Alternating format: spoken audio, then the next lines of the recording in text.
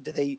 There's a difference between thinking and knowing. And knowing is that mm. deep sense of feeling something as opposed to intellectualizing something. Because I can tell you something, so oh no, I know that, I know that, I know that, and you're like a little parrot. And you go, no, no, no, I know, I know, I know, I know. But I can, if you can be moved fundamentally, and, and I, I'm a, I hate note takers at my experiences. I, I don't mind people capturing things, but people sitting in front of me taking notes, they're intellectually capturing something so they can go back and take the notes off the shelf when they, you know, in a week or two weeks or six months.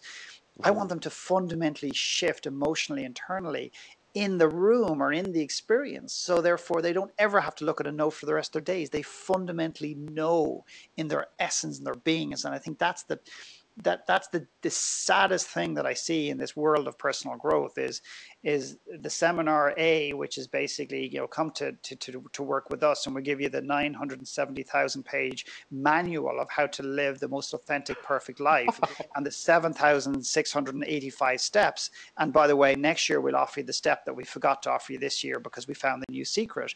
Or yeah, yeah. is there this work that can be done that is self-exploratory and you understand? If, going back to again the people that you and I both know, and we everyone knows them that don't know what they want, or someone listening on this on this call right now who's barely just holding on because the Star Trek thing really freaked them out, but they're barely holding on to the words because they trust you and they and they follow you and they believe you and they're still not they're still not 100% sure whether this is some sort of mad wacko cult or whether there's something re- legitimate in this.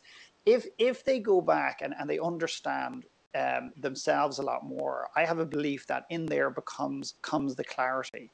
How many people have you met and says you know if i could just find out what what would make me happy if i could just find out what I, i'm passionate about if i could just if i could find out like that guy there what he loves then i'd be happy.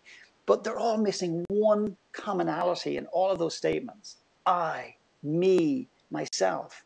Understand mm-hmm. who you are, understand who you are, and you cannot but find out what you should be doing. And I don't mean should, but what what what you're aligned to. It, it, it you you you can only find the truth when you face it. Mm-hmm.